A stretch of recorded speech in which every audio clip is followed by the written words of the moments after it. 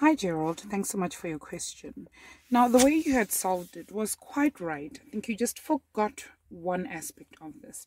When we are distributing that 3 up top, because that's basically what we're doing, we need to distribute it to every single number, which means that that 3 also applies to 2 and to A and to B and to C.